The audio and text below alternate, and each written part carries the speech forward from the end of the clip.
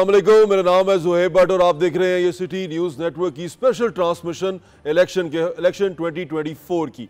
अभी आ, हमारे साथ जो गेस्ट हैं स्पेशली इस शो की आपको खास बात बता दूँ यहाँ पर तजिया नहीं होगा यहाँ पर जो कैंडिडेट्स हैं वो मौजूद होंगे मुख्तलिफ़ हलकों से मौजूद होंगे कैंडिडेट्स यहाँ बैठेंगे और वो इस इलेक्शन के बारे में बताएँगे कि वो इस इलेक्शन को कैसे देख रहे हैं और इस इलेक्शन प्रोसेस को वो कैसा समझते हैं। इसके बारे में बात करेंगे मैं अपने गेस्ट की तारुफ करवा दूँ।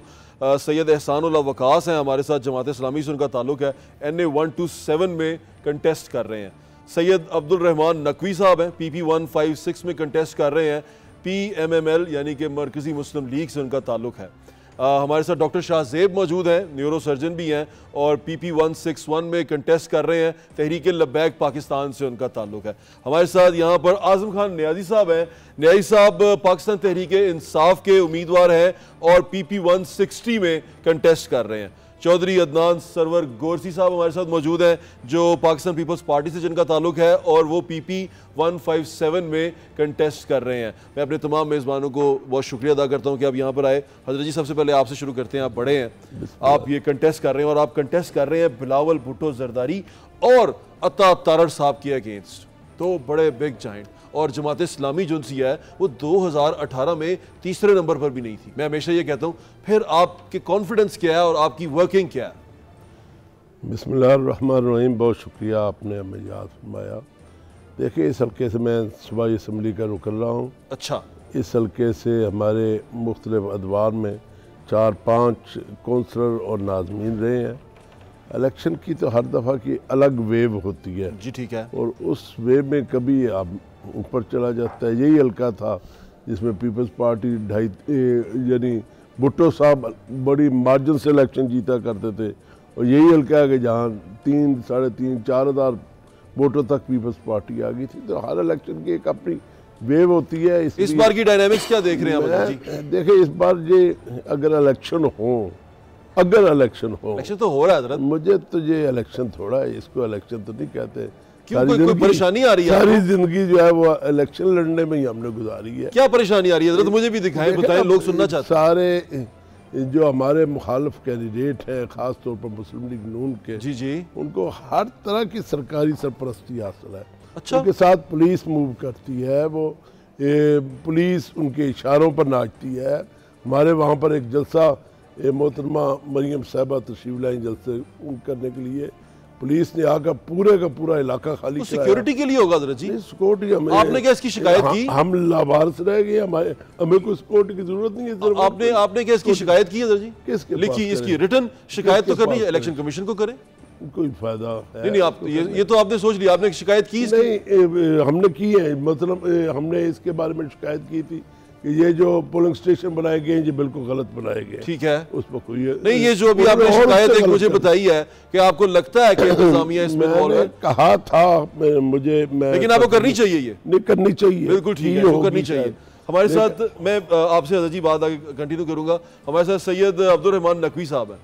आप कंटेस्ट कर रहे हैं मोहम्मद यासीन सोहल पाकिस्तान मुस्लिम लीग नून के एक बड़े मज़बूत कैंडिडेट और वो यहाँ से एम रह चुके हुए हैं। कैसे देख रहे हैं अपने इलेक्शन को और आप एक नई जमात के साथ इस हल्के में जा रहे हैं? जुहेब भाई, सबसे पहले ये कि मेरा फ़र्स्ट एक्सपीरियंस है और आज पाँच फरवरी कश्मीर डे था। सबसे पहले तो मैं ये बात करूँगा कि पाकिस्तान मरकज़ी मुस्लिम लीग कुर्सी के इंतबी निशान से सबसे पहले कश्मीर के लिए आवाज़ उठाने वाले लोग हैं। तो हम जो है वो भरपूर अपने कश्मीरी भाइयों के साथ इजहार यकजहती करते हैं। दूसरे नंबर पे अगर आप इलाकाई लिहाज से देखें तो मैं उसी इलाके के अंदर रहाइश पजीर हूँ और मेरी जमपल उसी इलाके के अंदर है। जहाँ पे आज तक आप हैरान होंगे कि 2024 में वार्ड नंबर आठ की जो क्रिश्चियन कम्युनिटी है उनको गटर का पानी और पीने का पानी इकट्ठा आ रहा है। यकीन माने कि मुझे पता है कि वहाँ पे गैस लगी होने के बावजूद कनेक्शन इसलिए नहीं अगर आप वहाँ के रहने वाले हैं आपको इस बात का पता होना चाहिए ये सारा कुछ करना कंटोनमेंट बोर्ड नहीं होता। देखें। इसमें तो सियासी अभी अहमद दखल ही नहीं है। सर सारा कुछ है काउंसलर इनके हैं सारा कुछ इनके हैं। ये मैं हैरान ये हो रहा हूँ कि इतनी नेगेटिविटी और इसके बावजूद ये सारी वार्डें जीत गए। सर मैं आपको बताता हूँ वो जब ये कंटोनमेंट का बोर्ड का इलेक्शन हुआ सारी वार्डें वो जिस तरह जीते हैं वो मैं उसको डिस्कस नहीं करना चाहता मैं आपको एक और बात बताता चलूँ। गैस का कनेक्शन मौजूद है वार्ड नंबर आठ में। अच्छा। लेकिन उसको चालू इसलिए नहीं कर रहे कि बार्गेनिंग करें हमसे। अच्छा। यानी इस किस्म की यहाँ पे जो है वो चल रही है नेगेटिविटी मैं किसी की चले अभी क्योंकि वो लोग मौजूद नहीं है हम हाँ ये। बताइए आप इलेक्शन जीतेंगे कैसे? आपके पास क्या है? जी मैं सोच भी नहीं सकता था जितनी मोहब्बत मुझे मिली है। अच्छा। मैं ये समझता हूँ कि लोगों लोग तरसे हुए थे प्यार के लिए। मैं आपको एक वाज तौर पे बात बताता चलूँ। हमारा इलेक्शन 8 फरवरी के बाद शुरू होगा। मैं नहीं बाकी भाई हैं सारे बैठे हैं। हमारा इलेक्शन आठ फरवरी के बाद शुरू होगा क्योंकि हमने खिदमत इंसानियत बाद में भी करनी है पहले भी करनी है। ये आठ दस दिन वाले हम लोग नहीं है। हम परमानेंट चलने वाले बिल्कुल ठीक है। आगे चलते हैं doctor sahab. Doctor sahab your neuro surgeon I right और डॉक्टर साहब आप सियासत में क्यों आ गए हैं अपनी खिदमत खल्क छोड़ के? देखें जी बिस्मिल्लाहिर्रहमानिर्रहीम। जोहिब भाई आपका बहुत शुक्रिया। आपने ये सवाल पूछा। ये बहुत ही सेंसिटिव सवाल है। जी, डॉक्टर करियर का सवाल है। अगर मैं पॉलिटिक्स में आता हूँ और अगर साफ़ शफाफ पॉलिटिक्स करता हूँ और करप्शन नहीं करता तो मैं गरीब रह जाऊँगा। और न्यूरो सर्जरी में तो मैं हलाल काफ़ी सारा पैसा भी कमा सकता हूँ। हलाल खिदमत भी अच्छा। हाँ खिदमत भी कर सकता हूँ। प्रोफेसर बनूँ वीसी बनूँ मेरे लिए बहुत वहाँ पे एक पेवमेंट है। लेकिन ये जो अ, मैं मुझे मौका मिला मैं ज़िला का प्रेसिडेंट था बहावल नगर में। मुझे एडमिनिस्ट्रेशन के साथ काम करने का मौका मिला। बहावल नगर में थे? बहावल नगर में पोस्टेड था मैं एज एन एमओ अच्छा। ठीक है? वहाँ पे मैंने काम रिहाइश पजीर कहाँ पे रियाज कोट लखपत में। मैं अपने। हलके में रहता हूँ। और ये यतीम हलका ये ये ये ये ये जो यतीम हल्का है जिसमें हर दफ़ा बाहर से कैंडिडेट ला के जितवा के बाहर एक्सपोर्ट कर दिए जाते हैं और वहाँ के लोगों के मसाइल को कभी भी एड्रेस नहीं किया गया वो यतीम हल्के को अब मैंने आपके इंशाल्लाह हल्के में ऑन कर पीपी लिया 161 में उमर सुहेल से आप पाकिस्तान मुस्लिम लीग नून की तरफ़ से लड़ रहे हाँ। हैं आपको पता है पीपल्स पार्टी का कैंडिडेट कौन है वहाँ पे? फैसल मीर फैसल मीर साहब। फैसल मीर साहब वो भी तगड़े कैंडिडेट हैं वहाँ पे। तो मैं मैं तो आपको कैसे आप ये मुकाबला करेंगे? क्या मुकाबला- बताएँगे लोगों को? मुकाबला- असल में यहाँ पर आपको आपके हल्के के लोग भी सुन रहे हैं देख रहे हैं मैं आपको। आप, मैं क्या हल्के के मसाइल बताता हूँ। हम रोज़ाना सड़कों में गलियों में जाते हैं। थोड़ी सी बूंदाबांदी हो जाए तो एंबुलेंस बंद हो जाती है। रास्ते सारे बंद हो जाते हैं। इन लोगों हर दफ़ा वहाँ से वो नून लीग का या जिस भी लोगों का वो हल्का रहा है। जो भी लोग वहाँ पे रूलिंग रहे हैं कंटोनमेंट बॉन्ड रही है कोई भी रहे हैं। मैं आपको अपने हल्के के हालात बताऊँ। अगर मैं लोगों से पूछता हूँ कि अगर 300 फुट गहरा 300 फुट गहरा अगर आप यहाँ पे बोर करेंगे तो क्या आपको साफ़ पानी मिलेगा? वो कहते हैं नहीं मिलता। उससे भी क्योंकि वजह यह है कि पूरे लाहौर में इतने नाले बह रहे हैं और वो नाले सीपेज के थ्रू क्या टेबल वाटर को खराब कर- ये काम करेंगे आप? एमपीए का काम ये काम करना? सर एमपीए का काम लेजिस्लेशन है मैं जानता हूँ। और वो उसके भी उस उसके ऊपर भी हमारे पास पूरा का पूरा मौजूद है। लेकिन आपकी पार्टी न्यूरोसर्जन-। ऑपरेशन कर रहा है। न्यूरोसर्जन ऑपरेशन कर रहा है। नहीं नहीं सर और ओटीए नहीं हो। मैं पूछता हूँ आपकी पार्टी नहीं है। बल्दियात पे यकीन रखती है? हो? आपकी पार्टी बल्दियात पे यकीन रखती है? जी हम रखते हैं। अब बल्दियात को प्रमोट करेंगे बल्दियात को ताकत देंगे। क्योंकि वो स्टेक होल्डर्स हैं। चले बहुत अच्छी बात स्टेक है। होल्डर्स ये तो। बड़ा अच्छी बात स्टेक होल्डर्स को जब तक आप इन्वॉल्व बजट फार्मूलेशन में नहीं करेंगे ड्रॉल डिसबर्सल में नहीं करेंगे फाइनेंस की पॉलिसीज़ में नहीं करेंगे बिल्कुल ठीक है। अगर आप उन्हीं लोगों को मैं जिन्होंने पॉलिसी इंप्लीमेंट को पावर मिलनी चाहिए। आप अग्री करते हैं? यस आई एग्री चलें रुक जाए अब यहाँ पर हमारे साथ मौजूद है आज़म खान न्याई साहब। न्याई साहब पहला सवाल आप पाकिस्तान तरीके इंसाफ से कंटेस्ट कर रहे हैं और मलक असद खोखर के यानी कि पाकिस्तान मुस्लिम लीग नून के एक कंटेस्टेंट के खिलाफ कंटेस्ट कर रहे हैं। और अ, ये हल्का अगर मैं जितना आपको जानता हूँ आपका हल्का तो वो सारा यतीम खाना और वो सोडीवाल और वो समनाबाद वो इलाका था। आप वहाँ बड़े मज़बूत थे। आप यहाँ पर क्या कर रहे हैं? साहब वैसे तो मेरा दायरा असर जो है वो पूरे पाकिस्तान में है। बिल्कुल ठीक है। लेकिन वहाँ मैं रह रहा था वो मेरे लिए बड़ा अच्छा था। हर एक को मैं शक्लों से और नामों से जानता हूँ मज़बूत थे आप आपकी फैमिली वहाँ पे है। वो बड़ा अच्छा हल्का अहबाब है लेकिन ये एरिया कुदरत की तरफ़ से मुझे मिला क्योंकि मैं पैदा जब हुआ था इस एरिया में। दोस्तों की वजह से? नहीं मैं इस एरिया में पैदा हुआ था। अच्छा। मेरी पैदाइश यहाँ की है अच्छा, इस एरिया की। ठीक है। तो फिर खान साहब ने अ, कहा कि आप यहाँ से लड़ोगे तो मैं इनका जैसे आप मुनासिब समझेंगे मैं ये चाह रहा हूँ उन्होंने कहा नहीं तुम ये ठीक है। तो अच्छा। मुझे मैंने अब यहाँ करना है। यहाँ पर काम करने की बड़ी गुंजाइश है लोगों की खिदमत करने की बड़ी जगह है। लोगों को बहुत सारी सहूलतें चाहिए। हमारे पास ना ग्राउंड है यहाँ पे प्ले ग्राउंड अग्री ना सवाल है। सवाल ये है कि मैंने मेरा ये जाके पता चला मुझे कि पीटीआई को सबसे ज़्यादा नुकसान पीटीआई ने पहुँचाया। ये एक तजिया है एक मेरी एक स्टेटमेंट में जो बता रहा हूँ आपको क्या ऐसा सच है? पीटीआई के लोग ही असल में पीटीआई के दुश्मन हैं। ऐसा है? देखिए हम अ, जब छोटे थे तो तब से सियासत को देखते आ रहे हैं। ठीक है। सियासत लफज ही ऐसा है जैसे शरारत हो। तो इसमें शरारत बड़ा बड़ा होती रहती हैं। ये बड़ा मुकदस काम। लोग शरारतें करते हैं मुकदस काम है लेकिन सियासत लफज जो जी वो से मेरे साथ सियासत कर गया वो मेरे साथ सियासत करते शरारत के जिम्मे में आता है। एक और बात बताएँ ये छोटा सवाल है इसके बाद तफसील से बात करेंगे। आपके इस हल्के में जहाँ से आप कंटेस्ट कर रहे हैं पीपी वन सिक्स ज़ीरो में मलक असद खोकर आपके खिलाफ है दूसरा आपकी अपनी पार्टी के कितने कैंडिडेट यहाँ पर खड़े हुए जिन्होंने टिकटें जमा करवाई थी वापस नहीं ली और इमरान खान की फ़ोटो लगा के कैंपेन कर रहे हैं? कितने लोग हैं? नहीं कंपेन नहीं कर रहे उन्होंने मेरे हक में वो बैठ गए हैं। और दो तीन तो है जो। इमरान खान की फ़ोटो लगा के लगे हुए हैं। नहीं कोई नहीं लगा हुआ। पक्की बात है कोई ऐसा बंदा नहीं है। चेक कर लिया आपने? हर वो बयान दे गए हैं अपने। बयान तो देंगे लेकिन वो अभी भी उनकी वीडियोस मौजूद हैं लोगों को पता बैलेट पेपर पे। उनका नाम बोल रहा है। हाँ नाम बोल रहे हैं लेकिन वो लड़ नहीं रहे वो काम नहीं कर रहे वो मेरे हक में बयान दे चुके चले ये तो बड़ी अच्छी बात है।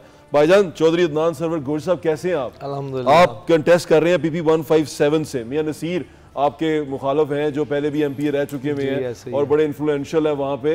ये बताएँ ये भी हल्के में आप अब, अब अभी आए हैं या इससे पहले भी यहाँ पर इलेक्शन लड़ चुके हैं?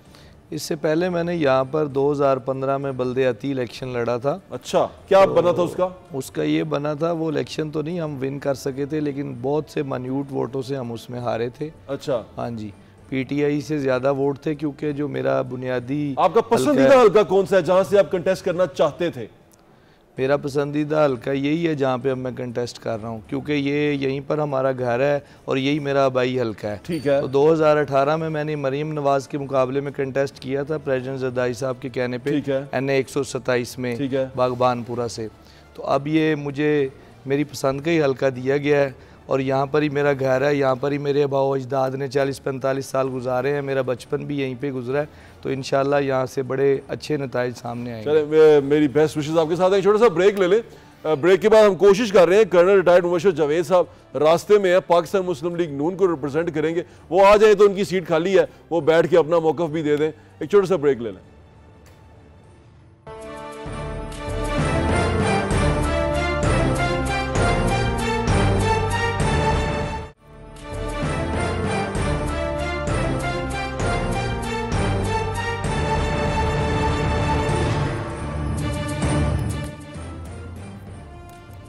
जी ना वेलकम बैक हमारे साथ जिनका हमें इंतज़ार था वो शख्सियत आन पहुँची है। लाहौर के मेयर रह चुके हैं सबक पाकिस्तान मुस्लिम लीग नून से उनका ताल्लुक है। कर्नल रिटायर्ड मोशर जावेद साहब हमारे साथ मौजूद अस्सलाम वालेकुम सर। थैंक यू जी। और आप N A one one nine में कैंपेन कर रहे हैं मरियम नवाज़ साहिबा की उसके इंचार्ज हैं। ठीक है सर? कह सकते हैं आप। सर ये मैं अभी सवाल कर रहा था अपने तमाम मुआजिज मेहमानों से। अभी मुझे ऐसा लग रहा है कि आप डिफेंडिंग पोजीशन पे आ गए हैं। सबके सबकी शिकायतें मुस्लिम लीग नून से क्यों है? आप भी तो कंटेस्ट कर रहे हैं। क्या मसला है? मतलब कि क्या इंतजामिया और ये सारी आप ही के साथ है? आपको कैसे पता चला कि हम डिफेंडिंग पे हैं? ये मुझे बातों से ये लगा। नहीं, अभी अता है, देखें, सारी ग- किसके साथ? प्रोटोकॉल के साथ। हमारा ना बताए वो ये ना क्या किन्ने के है। ये ना कहना किन्ने के है। ये मूवमेंट में दो तीन पुलिस के डाले होते हैं चालीस गनमैन होते हैं सात प्राइवेट गनमैन अलहदा होते ये हैं। क्या हो रहा है? और तो जिन लोगों के पास हम जलसा करने चले जाएँ सौ बंदा इकट्ठा करेगा रात को वो बंदा उठाया जाता है। बताएँ सवाल आप पे आ गया। एक बात मैं भी बता आप भी कर- बकायदा तौर पर जो अ, हमारे हल्के में अच्छा जितनी भी सरकारी बता रहे हैं आपको कि मुस्लिम लीग नून के कैंडिडेट के साथ ये हो रहा है ना? सरकारी बिल्डिंग्स के अंदर अपने जलसे करते हैं। हमें इजाज़त नहीं हज़रत जी आप भी बताएँ वो जो आप बता रहे थे। मैंने तो अर्ज़ किया ना जी कि हमारे मरियम नवाज़ साहबा तशरीफ़ लाई है जलसा करने के लिए। पुलिस ने हमारे सारे के सारे बैनर उतार दिए सारा बाज़ार बंद करा दिया सारी रेडियाँ उठवा दी किसी को उस इलाके में जाने की इजाज़त चौबीस घंटे पहले ही बंद कर दिया आपने भी कुछ कहना सारे सवाल ले लो सर। हाँ जी हाँ बिल्कुल बोले बोले हो सर हमारे बैनर्स सर हो गए सर मैं ये जरा गुरशी साहब से पूछ लूँ। रात को हमारे बैनर्स लगते हैं पेनाफ्लेक्सेस लगती हैं तो सुबह वो एमसीएल वाले और टाउन वाले सारे उतार बड़े देते साइज़ हैं की तो नहीं लगाते नहीं बड़े साइज़ की नहीं दो बाई तीन की की जो है हैं, और नून लीग की सिर्फ़ बचती हैं बाकी हमारी सारा सफाया हो जाता है। सर आप जवाब बात यह है कि मैं बहुत मशकूर हूँ कि आपने मुझे बुलाया। सॉरी ट्रैफ़िक की वजह से मैं थोड़ा लेट हो गया। ये शिकायत मुझे भी है। हैं? ब्रांडिंग जो है 119 में हम रात को लगाते हैं और परसों तरसों हमने लड़के पकड़े और उन्होंने कहा कि हमें किसी पार्टी ने पैसे दिए हैं। और पार्टी का हमने नाम पुलिस को बताया। नहीं नहीं हमने पुलिस को बताया और पकड़ा नाम तो भी। पकड़ा भी है। बात यह है कि इलेक्शन कमीशन के रूल्स एंड रेगुलेशन बहुत क्लियर हैं। और ये सियासी पार्टियों का काम है कि अगर कोई पार्टी ये देखते हैं कि रूल्स एंड रेगुलेशन के खिलाफ जा रही है तो लाहौर में उनका रिटर्निंग अफसर डिस्ट्रिक्ट रिटर्निंग अफसर डीसी है।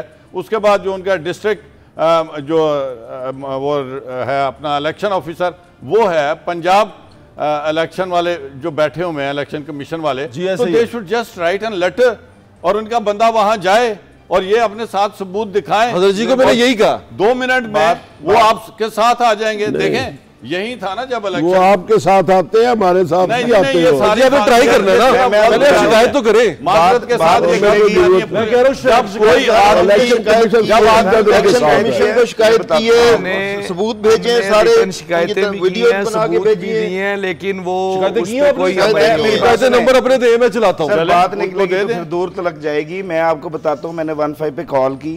बाकायदा तौर पर मेरे साथ एन ए पे हाफिज तलहा सईद साहब खड़े हुए हैं हाफिज सईद साहब की बेटी हैं। उन्होंने बाकायदा तौर पर फ्लैक्स को यूँ गिराया हुआ है और ऊपर जिसकी भी पार्टी के लगे हुए अभी आपके सामने अच्छा, वीडियो दो रख चीज़ें देता हूँ। इसमें एक चीज़ दूँ। वीडियो हूँ। मैं नहीं किसी पार्टी का नाम मैं किसी पार्टी का नाम नहीं लेता लेकिन जो पार्टी की उसकी सब्सिट्यूटिव अच्छा, लगे हुए हैं सुन ले। तो हैं? अब लीडरों ने जाके तो फ्लेक्स नहीं ना लगाने वो तो लोग लगा रहे हैं और जिन्होंने पैसे मिलते ने दूसरे दिन ला के ला देता जी। ये तकलीफ़ तो कोई पार्टी क्यों लांदी? है सर नहीं नहीं एक पार्टी नहीं आए मेरे साथ मैं आपको फिजिकली दिखा सकता हूँ। कि रात को हम लगाएँगे और सुबह हैं। मेरे हल्के में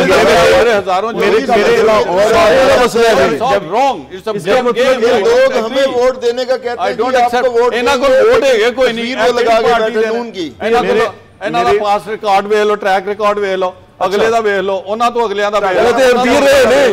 ਲਾਹੌਰ ਚ ਤੁਹਾਡੇ ਕੋਲ ਵੋਟ ਹੈ ਵੋਟਾਂ ਦਾ ਕੋਈ ਨਹੀਂ ਜਮਾਤ ਇਸਲਾਮੀ ਸੰਗਠਨ ਜਮਾਤ ਇਸਲਾਮੀ ਤਾਂ ਪੂਰੇ ਪਾਕਿਸਤਾਨ ਚੋਂ ਸੀਟ ਨਹੀਂ ਜਿੱਤੀ ਨਾਲੇ ਇਹਨਾਂ ਦੇ ਸੀਟ ਉੱਤੇ ਐਮਐਨਏ ਤੁਹਾਡਾ ਨਹੀਂ ਭਾਜੀ ਗੱਲ ਹੈ ਵੇਖ ਤੁਹਾਡੇ ਨੀਲੇ ਰੰਗ ਦੇ ਬੈਨਰ ਜਿੰਨੇ ਕਿ ਤੁਸੀਂ ਲਾਏ ਨੇ ਹਜ਼ੂਰ।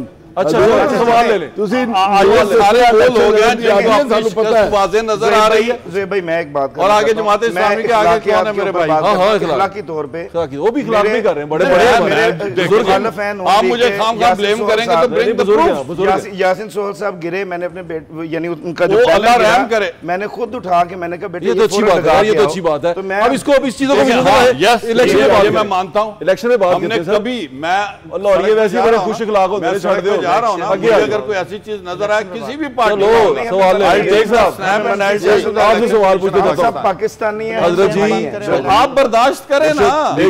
आप बर्दाश्त करें। पिछला इलेक्शन देख लें उससे पिछला देख लें उससे पिछला इलेक्शन एक मिनट मुझे भी दें जरा रोक नहीं साहब अभी आपकी पार्टी कंटेस्ट करने जा रही है और आपकी पार्टी का जो आपको परेशानी आ रही है इसमें कि वो जो होते हैं पोलिंग एजेंट ढूँढने में कि ऐसी तकलीफ़ आ रही है कोई? देखिए इतना पुलिस की तरफ़ से डराया जा रहा है कि पुलिस जो भी हमारे करीब आता है पुलिस रात को उनको उठा लेती है। अगले दिन वो जमानते हैं या पर्चे खारिज होते हैं फिर अदालतों की तरफ़ से थोड़ा सा रिलीफ मिल रहा है। अच्छा वैसे मैंने सुना लेकिन ये यही सारी चीज़ें ना पुलिस वालों को मैंने रहा किया। 18 जो हो रही थी एस एच ओ ਨਾਲ SHO कभी नहीं सर हुए ऐसे अठारह जो हुई थी ना अदालतों में गए ऐसा थे, नहीं सुना था हमने वो आपने नौ मई कर दिया ना उन्होंने नौ मई नहीं किया था और ओला तो नौ मई नौ का पड़ मई गया भी इनका अपना बनाया हुआ है वो आपने किया आपके सारे बंदों की वीडियोस हैं अच्छा चले छोड़ें उस नौ मई को हम कंडेम करते हैं ये बताएं कि आपको जी परिश- मैंने पंजाबी की कहावत है पंजाबी आती है आपको समझ आती जी जी ਉਹ ਕਹਿੰਦੇ ਨੇ ਮਾਰੇ ਨਾਲੋਂ ਡਰਾਇਆ ਚੰਗਾ ਹੁੰਦਾ ਹੈ ਮੈਨੂੰ ਲੱਗਦਾ ਤੁਸੀਂ ਡਰ ਜ਼ਿਆਦਾ ਗਏ ਹੋ ਡਰ ਨਹੀਂ ਅਸੀਂ ਮੁਕਾਬਲਾ ਕਰ ਰਹੇ ਹਾਂ ਅਗਰ ਖੁੱਲੇ ਨਾ ਫਿਰਦੇ ਹੁੰਦੇ ਜਿਸ ਤਰ੍ਹਾਂ ਇਹਨਾਂ ਨੇ ਹਰ ਵਕਤ ਸਾਡੇ ਪਿੱਛੇ ਪਿੱਛੇ ਫਿਰ ਰਹੇ ਨੇ अच्छा फिर रहे मेरी कितनी गाड़ियाँ इन्होंने बंद की हैं। अच्छा। कितने मेरे लोग उठाए हैं जो कंपेन के लिए निकलते हैं उनको पकड़ लेते हैं। अच्छा। लेकिन अल्लाह का फजल है कि अवाम की तरफ़ से इमरान खान इमरान खान हो रहा है। और ये जीत हमारी यकीनी है। बिल्कुल ठीक है। लेकिन कल साहब मैं एक सवाल आपसे पूछना चाहता हूँ इसी के अंदर। 2018 में क्या हुआ था आपके साथ? मुझे जरा उसके बारे में बताइए क्या इसी तरह था? भाई आप अभी की बात करें इलेक्शन लड़े। हाँ। जो भी हुआ हुआ सारों के सामने हम तो नहीं रोते। अच्छा।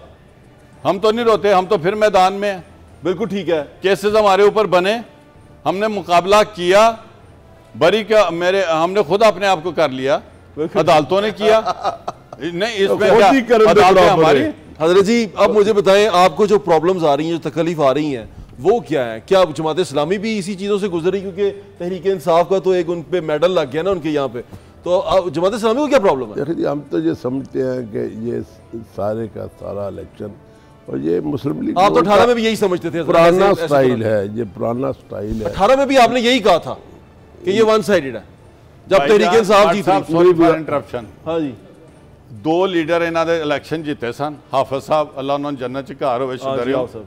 ਤੇ ਉਹਦੇ ਬਾਅਦ ਅ, ਬਲੋਚ ਸਾਹਿਬ ਨਹੀਂ ਨਹੀਂ ਹਜ਼ਰਤ ਵੀ ਜਿੱਤੇ ਸਨ ਠਹਿਰ ਜਾਓ ਮੈਂ ਉੱਥੇ ਜਿੱਤਿਆ ਸੀ ਤੁਹਾਡਾ ਪੁੱਤ ਹਾਰ ਗਿਆ ਮੇਰੀ ਗੱਲ ਤੇ ਸੁਣ ਲਓ ਪੁੱਤ ਹਾਰ ਗਿਆ ਸੀ ਮੈਂ ਜਿੱਤ ਗਿਆ ਇਹਨਾਂ ਨੇ ਕਿੰਨੂੰ ਦਿੱਤੀਆਂ ਕਿੰਨੇ ਇਹਨਾਂ ਨੂੰ ਸੀਟਾਂ ਦਿੱਤੀਆਂ ਸਨ ਕਿੰਨੇ ਜਮਾਤੇ ਜਮਾਤੇ ਇਸਲਾਮੀ ਨੂੰ ਪੀਐਮਐਲ ਨੇ ਸੀਟਾਂ ਪਾਈ ਜਾਂ ਦਿੱਤੀਆਂ ਸਨ ਹੋ ਸਦਾ ਅਸੀਂ ਉਹਨਾਂ ਨੂੰ ਦਿੱਤੀਆਂ ਇਹ ਕਿਹੜੀ ਗੱਲ ਹੈ ਇਹ ਕਿਹੜੀ ਗੱਲ ਸਾਹਿਬ ਦੋ ਸੀਟਾਂ ਮਿਲਦੀਆਂ ਹਮੇਸ਼ਾ ਤੁਸੀਂ ਇੱਕ ਮਜ਼ਹਬੀ ਰਿਲੀਜੀਅਸ ਜਮਾਤ ਹੈਗੇ ਹੋ ਤੁਸੀਂ ਨਾਲ ਰਲ ਕੇ ਆਪਣੇ ਮੁਖਾਲਫਾਂ ਨੂੰ ਬੰਨ ਕੇ ਉਹ ਇਲੈਕਸ਼ਨ ਲੜਨ ਵਾਲੇ ਹੋ ਤੁਸੀਂ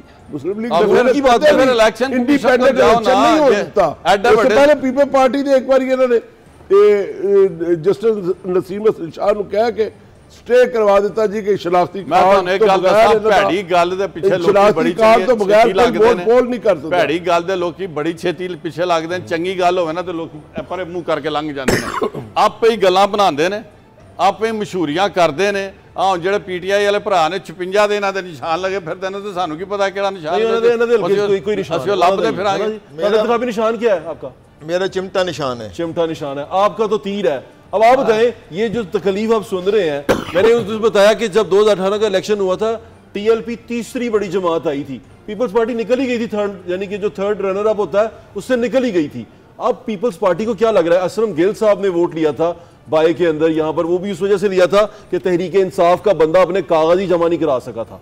वो भी इस वजह से वहाँ पर वहाँ पर पीटीए पीपल्स पार्टी को अच्छी मिल गई थी मार्जिन मिल गया था। अब आप क्या देख रहे हैं, पंजाब में वापसी कैसे मुमकिन है पीपल्स पार्टी बिस्मिल्लाहिर्रहमानिर्रहीम। चेयरमैन बिलावल भुट्टो जरदारी साहब इस हल्के से इलेक्शन लड़ रहे हैं और आप सब देखेंगे कि वो इसमें क्लीन स्वीप करेंगे तमाम जमातों को। और पाकिस्तान पीपल्स पार्टी का जो वर्कर है, वो दोबारा से चार्ज हो चुका है। और जो उनके गिले शिकवे थे लीडरशिप के और उनके दरमियान जो एक गैप था वो फिलअप हो चुका है। और अब इंशाल्लाह आप देखेंगे कि पीपल्स पार्टी आपको हर तरफ़ नज़र जाएगी एक सौ सत्ताईस में। पीपल्स पार्टी नज़र आएगी? जी इंशाल्लाह। यार माशाल्लाह इतने अच्छे ख्वाब बिल्कुल देखने चाहिए सबको देखने चाहिए और जो किन्होंने पूरे करने हैं इनके ये ख्वाब वो आप लोग हैं। छोटा सा ब्रेक ले लें। ब्रेक के बाद ये जो सारे ख्वाब हैं जिनकी ताबीरें असल में आपके हाथ में हैं वो मैं सारे आपको सुनाता हूँ। टेक अ ब्रेक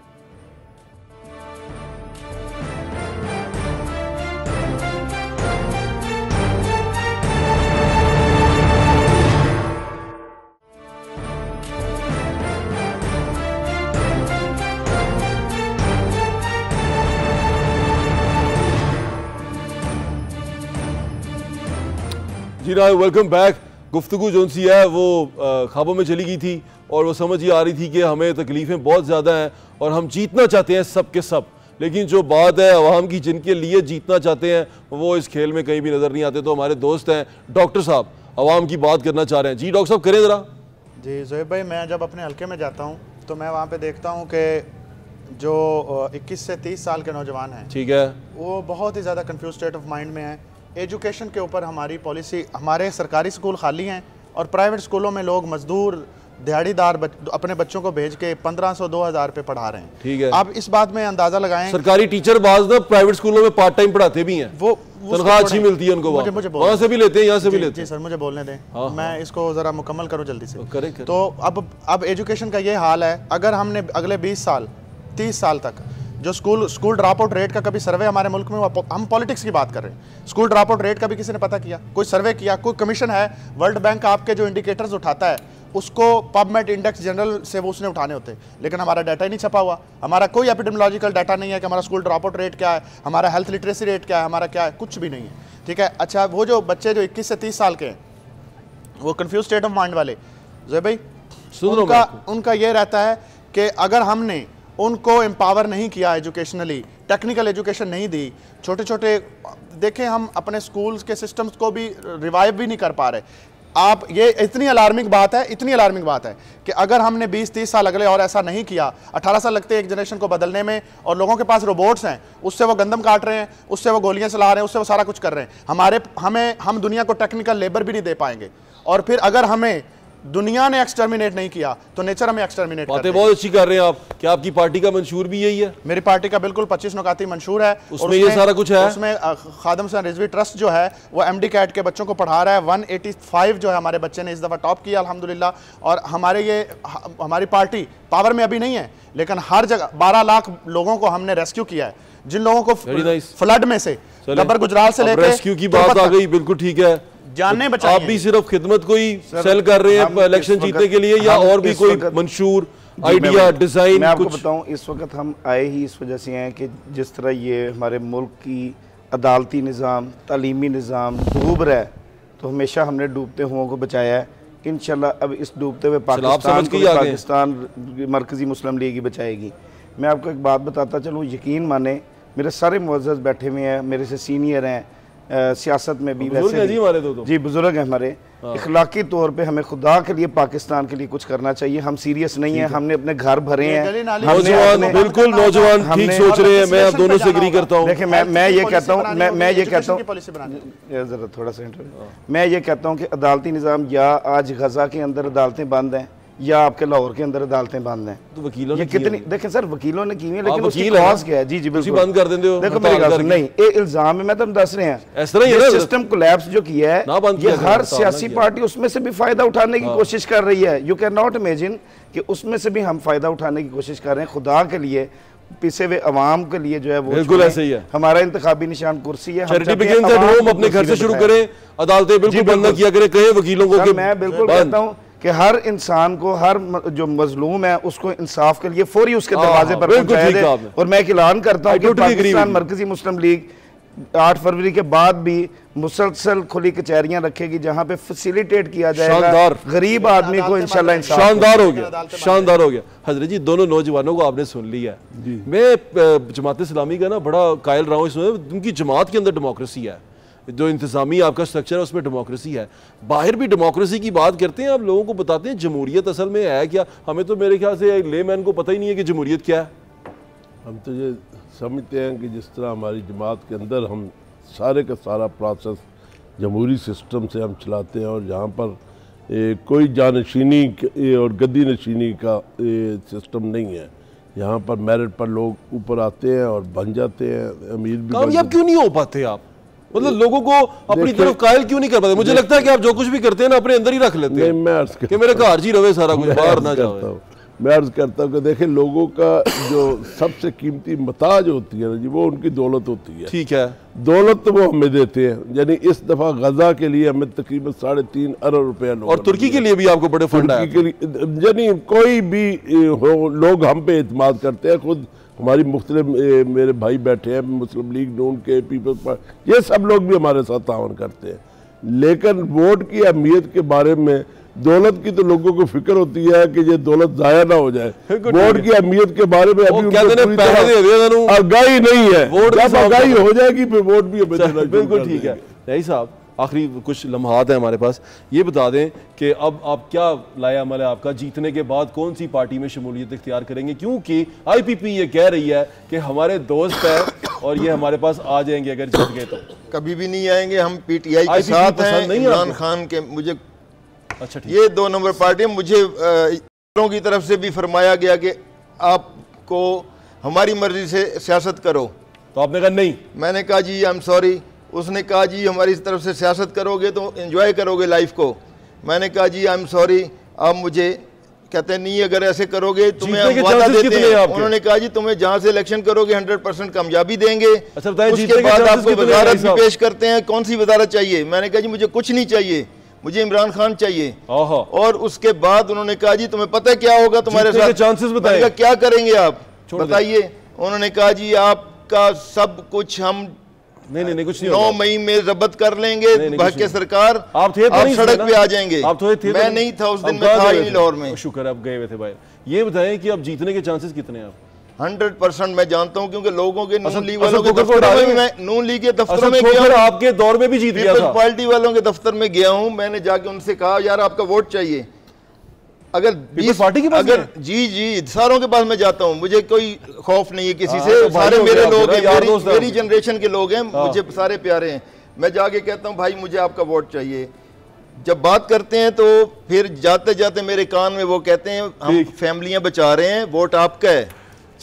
ये तो देखने की बात है। हज़रत जी आओ कितने चांसेस लगते हैं आप जीत जाएँगे? हंड्रेड परसेंट इंशाल्लाह बिलावल भुट्टो जरदारी साहब आप- एक आप- सौ सताईस से मैं भी जीतूँगा ना बिलावल भुट्टो जरदारी साहब के साथ ही एमपीए कंटेस्ट कर रहा हूँ तो मैं की बात कर रहा हूँ मैं अदनान गोरसी साहब की बात कर रहा हूँ। जी, इंशाल्लाह। परसेंट चांसेस अदनान गोरसी साहब? हमारे भी हंड्रेड परसेंट चांसेज हैं क्योंकि बिलावल भुट्टो जरदारी साहब को जो वोट पड़ना है वो एम पी एस को भी ऑब्वियसली पड़ना है। ठीक है और आपको उम्मीद है पूरी। जी इंशाल्लाह हम जीतेंगे ज़रूर। मुझे तो ये बातें सुन के लग रहा है जीते हुए पाँच हज़ार से रेट चल पहुँच चुके हैं देखिए ना।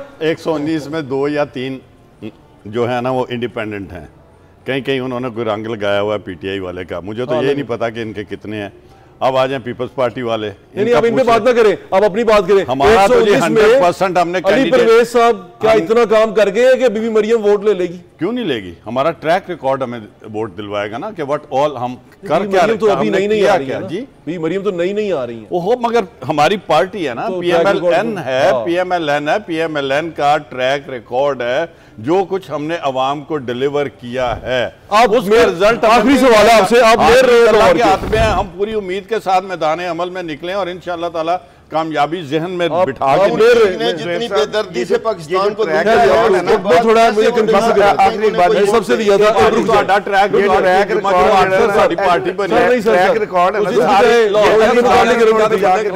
सबसे दरखास्त मेरी दरखास्त आप सबसे ये है कि जब भी वोट डालने जाएँ, कैंडिडेट को ज़रूर देखें, कैंडिडेट की शक्ल ज़रूर देखें और ये जानें कि वो आपके हलके के लिए कितना इंपॉर्टेंट है और उसका हलका आपके लिए, यानी कि वो जो हलके में कंटेस्ट कर रहा है और आप उसके जो वोटर्स हैं, आप उसके लिए कितने अहम है। कहीं वो अपने वोट अपने जो बॉस है या अपना जो उसका पार्टी का वो हेड है, उसके कहने पर आपके हल्के को ठुड्डा मार के निकल तो नहीं जाएगा, इस्तीफा तो नहीं दे देगा या हल्के के साथ रहेगा और हल्के की बात करता रहेगा।